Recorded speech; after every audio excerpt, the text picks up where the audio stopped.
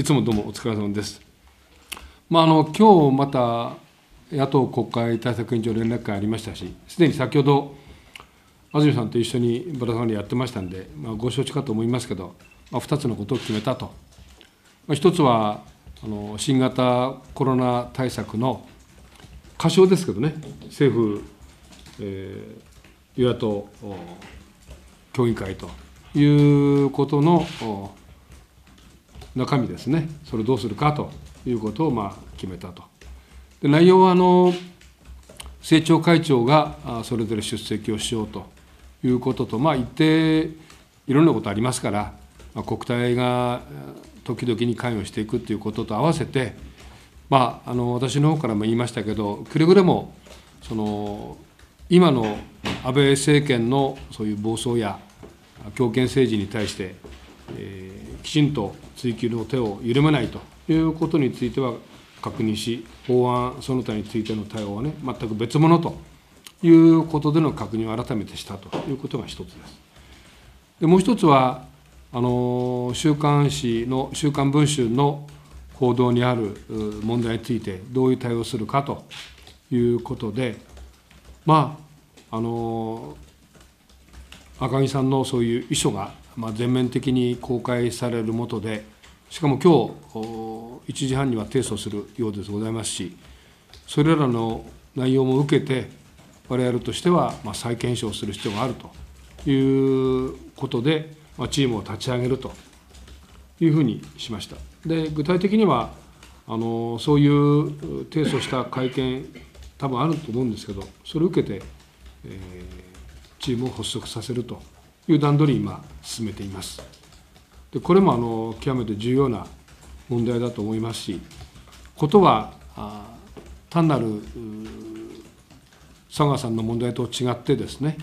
事の発端である安倍総理、菅さんの問題にぶち当たり、しかもこのことを契機に改ざんや隠蔽や破棄という公文書に扱いが問題になったわけですから、これらの点について私たちとしては追及していきたいという思いがあります。そういうことを野党の国対委員長連絡会では議論したということです。何かありましたら。はい、新型コロナの関係であの、まさにあの政府与野党の協議会、これから開かれると思うんですが、あの共産党として求めたいことはどういったことでしょうか新型コロナの対策ですよね。で、まあ、端的に言ってですね、新型コロナ対策の問題っていうのは、あの政府が考えている以上に、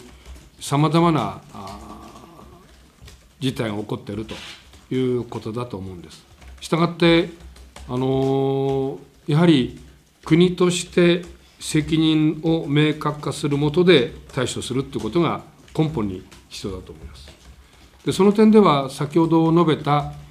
あの与野党協議会というのは、政府与野党協議会というのは、3.11のそういう対処に学んで、まあ、そういう経緯も踏まえてやってるわけですから、その点で言いますとね、それが一つと、それと、今まで行った経済対策含めてね、えー、例えばリーマンショックの時以上に今の現状はひどいと。でそれは消費税の大増税というところに含めてですね、それに踏まあのまたさらにコロナ不況といいますかね、そういったことが続いているわけですから、そういう意味での過去の経過にとらわれず、同時に過去を行っていたことに対してきちんと行うと。ですから、リーマンショックの際に行ったさまざまな対対応策、まあ、とりわけあの当時はあの自治体に対する裏負担の問題や、それから固定経費問題や固定資産度の問題だとか、さまざまあったと思います。そういった点が一つあると。それと、3.11の際には、やはりあの当時はあ全体像がなかなか見えないということがありましてね、私もその当時開かれたあの政府与野党のそういう協議に何度も参加しましたけど、現実をこう踏まえるということがとりわけ必要だし、同時に、現に起こっているさまざまな事象に対して的確にですね、それは与野党を超えて、現場で起こっていることに対しては手当を打つということがあったわけですね。したがってそういう経験も学んで、現場に起こっている事実を掴んでいる内容を政府が国名に出し、同時に政策提言も積極的に果断に受け入れて処理していくということらが必要じゃないですかと思っていますあの具体的な経済対策であの新聞とかではですね現金給付を検討しているというような話も出てますけどこういった現金給付というのは必要だとあの経済対策どうするかっていう問題についてはねやはり柱が必要だと思うんですよね。だからそれはあの私どもすでに共産党として提言していますように、えー、実際に起こっている要はですねやはり生活防衛というところにしっかり柱を置く必要があるということと同時に、えー、外需頼みではなくて内需家計というものを支援する必要があるということですからそのやり方について言いますとね私どもとしては消費税の減税をね、この機会に増税をやめてですね、5%に戻すべきであるということをすでに主張していますし、でその際に今お話しあった現金給付というのは、所得を保障するという意味が必要だと思うんですね、そういう点はあると。それから今言ったように、一つは、その消費を喚起する上でね、消費税増税をやめさせるとの5%にするということと、そういう所得を保障する補填するという意味だとそれと社会保障の部分でですねそれをこう支えるということがないとダメなわけですよね、まあ、それらの大ぐくりをしながらも例えば先ほどあの、まあ、議論になったわけですけどフリーランスの4100円という問題もありますよねそういったあの個別の細かい問題というふうに言うほどあの細かくない大きな問題いっぱいあるわけですよね。それはきちんと対応していくために一つ一つこう詰めていくっていうことが必要かと考えています。ですからそれらも含めて議論していければなと考えています。すみません、はい、あの次年です。あの確認なんですけれども、あの共産党からは田村政策委員長が出席するということでいいんですか？はあの政調担当が出席をしてほしいねとありましたし、あの田村さんに出席いただくということになると思います。それからあの初会合の日程感というのは大体分かってえー、っと初会合の日程感ということですけど、それはあの、えー、っと今日にでもそれぞれの政党がですね担当者を決めて、一日も早くということですので、今日明日含めて考えていると思います。でただ、ほら、あの共同会派の方々もですね、その政党として独自に政調会長おられますから、それらが一緒に出るでしょうし、また同時に野党としてもね、あの必要な意見交換しながら臨んでいくということも必要でしょうしね、その辺はもう少し柔軟に考えながら対応していきたいと。要は、今起こっているこの事態に対して、さまざまな、ま、リアリティを持った対応が必要だということは、まあ、今日も議論になりましたし、そういう角度で、え、やっていければなと考えています。共同通信の中ですが、森友学園に関してなんですけれども、あの3年前とかですね、まあ、全然その国会答弁があった内容とは、まあ、割とこう異なる内容がその赤木さんの意思を、まあ、主義が出ているんですけれども、その一応こうご覧になっていて、そのまあ、読まれたこの受け止めというか、うん、はい、そういったことに関してどう思われますか。あの週刊文春の今回の記事というのは、赤木俊夫さんのそういう遺書が A47 ページにわたって出され、しかもあの直筆の遺書も出されるということを拝見しますとね、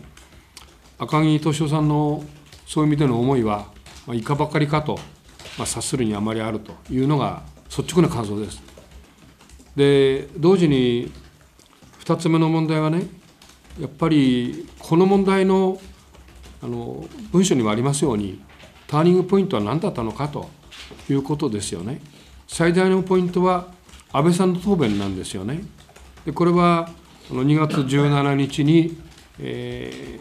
ー、まあ関係しているとすればですね総理も議員も辞めるという発言が、まあ、一つの大きなあターニングポイントになってでしかもそれをあの23日でしたか菅さんがあ夕方からですねその当時の課長である中村さんをはじめとして呼び出してそこで改ざんを具体的にはまあ指示するということになっていくわけですよね。したがってこの問題っていうのはこの総理に直結する問題であるそして同時に改ざんや隠蔽や廃棄破棄、まあ、こういった公文書の扱いのいわばあ崩壊をさせていく出発点になっているわけですよね。そういう問題が極めて私は大きいんだと思います。したがって日本の政治のありようを大きく揺るがした問題がね改めて浮き彫りになったということじゃないでしょうか。したがって私どもとしては検証をする必要があると。でもちろんその点で言いますと当然3つ目に当時のあの証言まあ証人喚問を受けてね言った内容が事実かどうかという問題もありますし財務省の責任という問題もあるでしょうでそういう3つの大送りが私としてはまあ感じます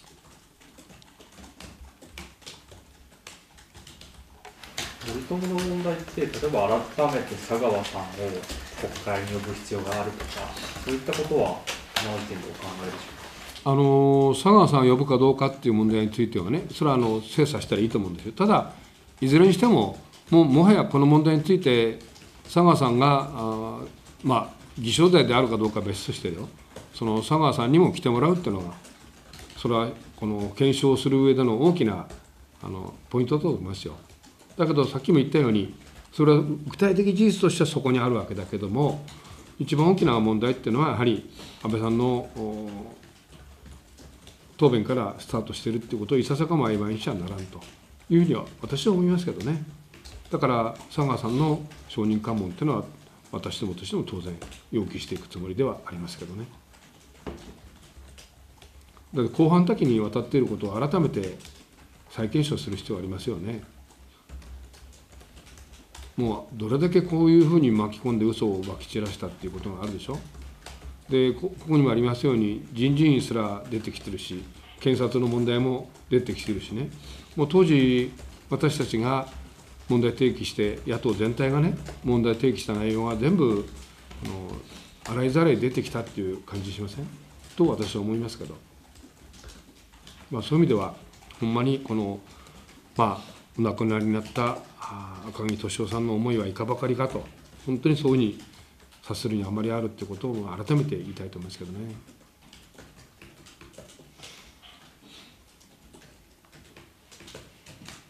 よろしいですか？